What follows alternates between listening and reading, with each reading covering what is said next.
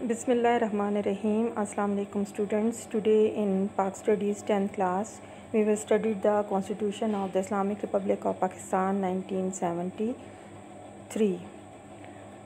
The Constitution of the Islamic Republic of Pakistan, also known as the 1973 Constitution, is the supreme law of Pakistan drafted by the government of Zulfikar Ali Bhutto with additional assistance from the country's opposition parties. It was approved by the parliament on 10th April and ratified on 14 August 1973. आप हम इसके background को देखते हैं इससे पहले जो आइन था 1962 का वो जनरल अयूब खान ने प्रेजेंट किया था और इसको 1969 में जनरल जाजा खान ने एब्रोगेट किया था, यानी इसे ख़त्म कर दिया था और पूरे मुल्क पे मार्शल लॉ लगा दिया था, सारी पार्लियामेंट और कैबिनेट और आल पॉलिटिकल पार्टीज़ को डिसमिस कर दिया था। 1970 में जनरल इलेक्शंस करवाए गए और उसमें पाकिस्तान पीपल्स पार्टी के सरबरा जुल्फ़ार अली भुट्टो ने इलेक्शन जीता और इस तरह उन्होंने अपनी गवर्नमेंट बनाई। Now constitution was a great challenge for him. उन्होंने 25 मेंबर्स की एक कमेटी बनाई। On 20th October 1972, the draft was revived by all leaders of political parties and signed the declaration of adopting the constitution in National Assembly on 2 February 1972. And then this constitution came into full effect on 14 August 1973. Now we discuss the salient features of the Constitution of Pakistan 1973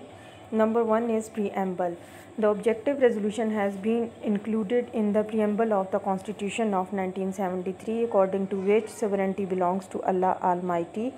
and the people's representatives would use their powers within the limits of Quran and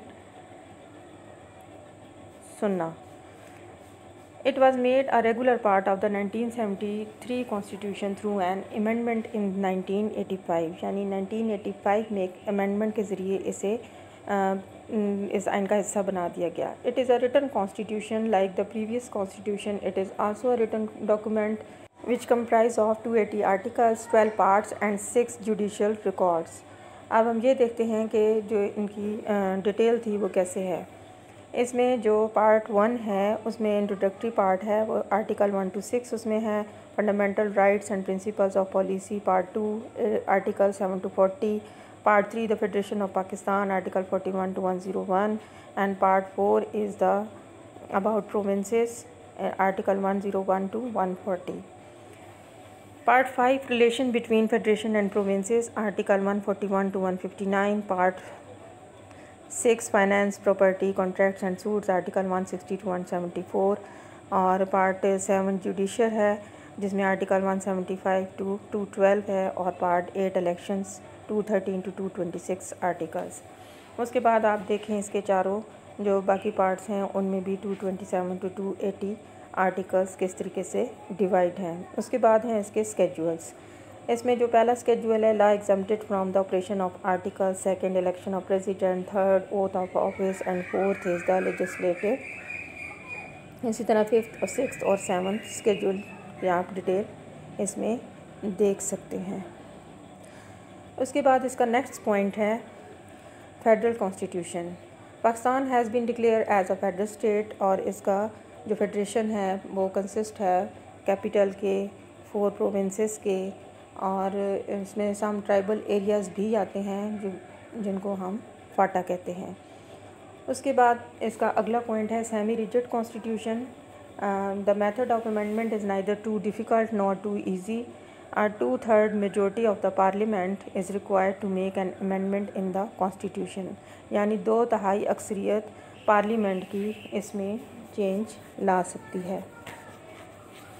Number five point is national language Urdu has been declared as the national language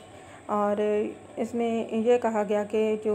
fifteen years हैं, उसमें arrangement की जाए ताकि जो उर्दू है, उसको as official language के तौर पर इम्प्लीमेंट किया जा सके। During this period English will be use as official language और इस दौरान इंग्लिश को ऑफिशियल लैंग्वेज के तौर पर यूज़ किया जाएगा। This could not be possible so far लेकिन ये ऐसा ज़्यादा देर तक मुमकिन नहीं था। It is an Islamic constitution Islam has been declared as a state religion it has been declared that it is essential for the uh, president of the Pakistan should be Muslim and the prime minister of the Pakistan will also be Muslim. The official name of the state is Islamic Republic of Pakistan यानी इस्लामी जमहूरिया पाकिस्तान का नाम इसे दिया गया। इस कॉन्स्टिट्यूशन में इनक्रेज किया गया कि जो सिटीज़न्स हैं, वो इस्लामिक मोड ऑफ़ लाइफ गुजारें और इस्लामी असूलों के मुताबिक अपनी ज़िंदगी को बसर करें।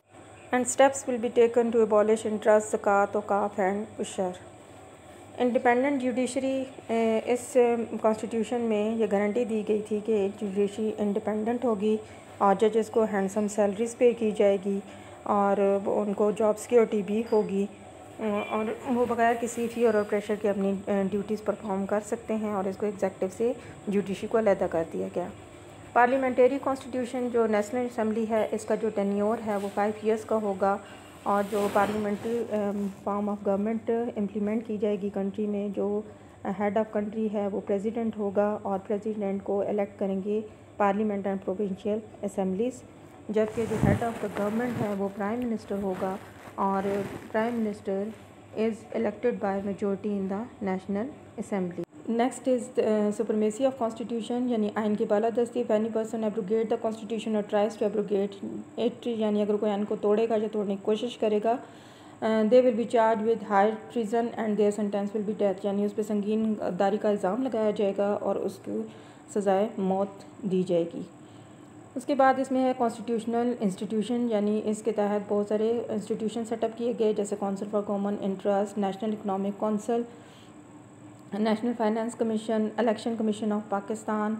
and federal ombudsman यानी वफाकी मुतसिब का इदारा। These institution solve the problems of national interest यानी कौमी फ़ायदे के लिए अगर कोई प्रॉब्लम्स हो जाती हैं तो उनको सॉल्व करना।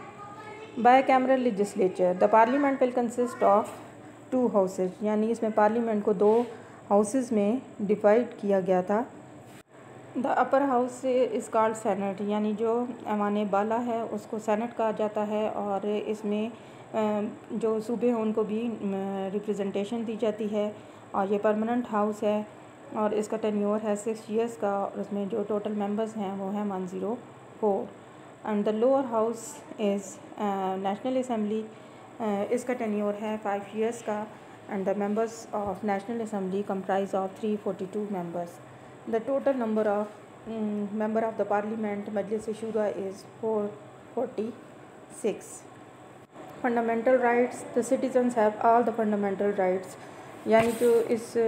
कॉन्स्टिट्यूशन का आर्टिकल टू ट्वेंटी एट है इसमें जो फंडामेंटल राइट्स पाकिस्तान के सिटीजन को दिए गए वो freedom of speech freedom of thought information freedom of religion and freedom of press दिया गया। पार्लियामेंट और प्रोविंशियल असम्बलीज़ कोई भी ऐसा लॉ नहीं बनाएँगी जिसमें जो शहरीों के बुनियादी हकूक़ हैं, उनसे उन्हें महरूम किया जाए। That's all for today thank you